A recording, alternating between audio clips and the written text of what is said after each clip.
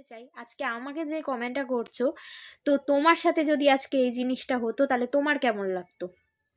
তাহলে একজনকে বুঝতে যে আদৌ তুমি নিজে কি আমি নিজে জানি না। তোমার মায়ের সাথে যদি হতো গুড ইভিনিং আশা করি তোমরা সবাই খুব ভালো আছো, আমিও ভালো আছি। তো আমি এই কয়েকদিন কোনো ব্লগ করিনি, আর তোমার হচ্ছে শরীরটা ভালো ছিল না তার জন্য। তো আজকে আমি তোমাদের কাছে কোনো ব্লগ নিয়ে আসিনি, আজকে আমি তোমাদের কাছে কটা কথা বলতে এসেছি। তো কিছুক্ষণ আগে আমার একটা কমেন্ট এসছে, আমার খুব খারাপ লাগছিল। আমি ভাবলাম কমিউনিটিতে পোস্ট করব। কি কমিউনিটিতে দেওয়ার থেকে আমার মনে হলো দু মিনিটের একটা ভিডিও করে তোমাদেরকে জানানোটা খুব দরকার। তো একজন আমাকে বেবি খাতুন বলে একজন কমেন্ট করেছে। বেবি কি ববিতা যাই হোক হবে। আমি কমি তোমাদের হচ্ছে স্ক্রিনশটটা আমি লাস্টে দিয়ে দেবো ভিডিওর শেষে। আমাকে কমেন্ট করেছে যে, বিধবা হয়ে এরকম সাজ?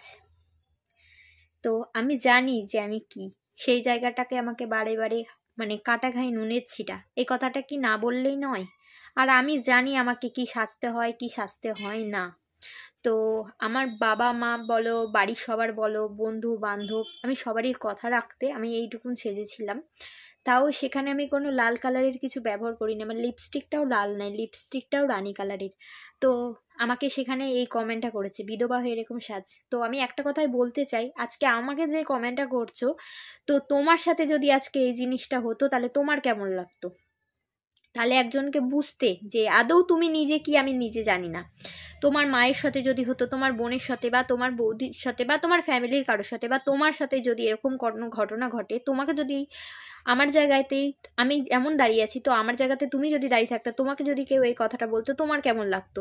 তোমরা এই কথাটা ভেবো না, অনেকেই, যার ভিডিও ভালো লাগবে না, আমার ভিডিও দেখবে না, আর অনেকে আমাকে এই কমেন্টটা করে, আমি আর একটা কমেন্টও দেবো, যে আমি নাকি ফেমাস হওয়ার জন্য আমার হাজব্যান্ডের জন্য কাঁদি, কেঁদে কেঁদে ভিডিও করি।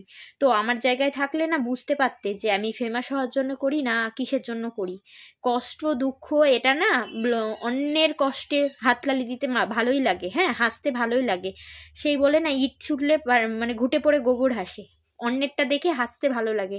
যেদিন নিজে এই জায়গাটায় ফিল করবে, নিজে এসে দাঁড়াবে, সেই দিন ভালো লাগবে। আর সেই দিন বুঝতে পারবে, এখন অন্যের বিপদে, কি বলব, হাসছো, খুব মজা মারছো, মজা লাগছে। তো এই মজাটা বেশি দিন থাকবে না। তো যারা ভাবো যে আমি মুখ বন্ধ করে চুপ করে থাকি, তার মানে এটাই না, তোমরা যা বলবে আমি তাই সহ্য করব। তো যার ভালো লাগবে না, দেখবে না। কিন্তু দয়া করে খারাপ কমেন্ট করবে না। আর ভেবো না, এই যে কয়দিন আগে রন্দা একটা কমে মানে একটা ভিডিও করেছিল, যেটা কেসের ব্যাপারে, যে তোমার হচ্ছে কি খারাপ কমেন্ট করলে বা সব কিছুর একটা লিমিট থাকে। তো লিমিটের মধ্যে থাকার চেষ্টা করো লিমিট ক্রস করার চেষ্টা করো না। লিমিট ক্রস করলে কি করতে হয় আমি সেটা ভালো করেই জানি। আর যে আজকে আমাকে এই কমেন্টটা করেছে, তার কি অবস্থা হবে সে নিজেও জানে না।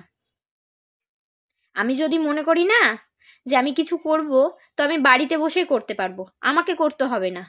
আমার যা তোমার হচ্ছে, কি বলব, আমার দাদা, দিদি, বন্ধু, বান্ধব যে আছে, তারাই সব করে দেবে, আমার বোনটাই তো আমার পেছনে লাগতে আসার আগে একবার ভালো করে ভেবে নিবে, তারপরে লাগবে।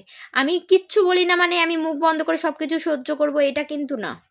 আমি যখন, আমি অনেক দিন ধরে সহ্য করছি, মানুষের একটা ধৈর্য সহ্যের লিমিট থাকে।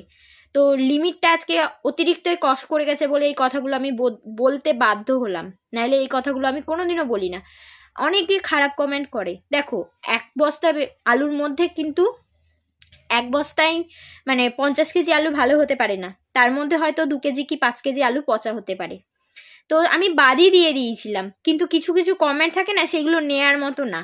তো তোমাদেরকে আমি বলছি, ভালো লাগবে না ভিডিও দেখবে না, কিন্তু খারাপ কমেন্ট করবে না। আজকে আমার সাথে যেটা করছ, আমাকে যেটা বলছো, সেটা তোমাদের সাথেও হতে পারে।